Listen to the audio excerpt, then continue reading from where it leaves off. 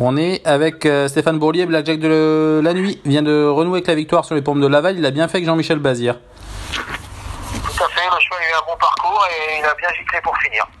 Bon, il avait fait une rentrée à Chartres, ça a été suffisant pour euh, qu'il retrouve son meilleur niveau? Ah, C'est un cheval qui n'a pas besoin de beaucoup de travail, c'est un vieux cheval qui a besoin d'être surtout être préservé au niveau de son mental.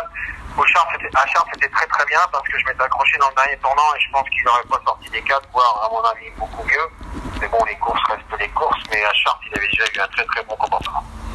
Dans la foulée, il retrouve un engagement à main droite C'est un peu le souci. C'est, euh, il est bien meilleur à gauche qu'à droite parce qu'il est un cheval qui pousse un petit peu à droite pour finir. Donc euh, la corde à droite, il finit souvent des fois ses parcours dans la main gauche.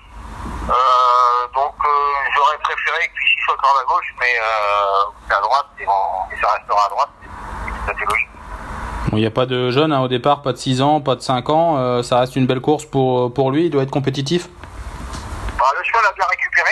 Euh, je pense que oui, euh, d'écarter des 5, ça serait prendre un risque. Oh, on peut difficilement écarter un, cheval des 5, surtout que votre écurie est, en forme et lui vient de prouver sa, grande forme également. Oui, tout à fait. Le cheval, le cheval est en forme de toute façon là-dessus, il n'y a rien à dire. C'est vrai que l'écurie en ce moment, elle, est, elle, elle, elle, a subi une très bonne passe. Mais euh, non, le choix est resté bien, il n'y a rien à dire.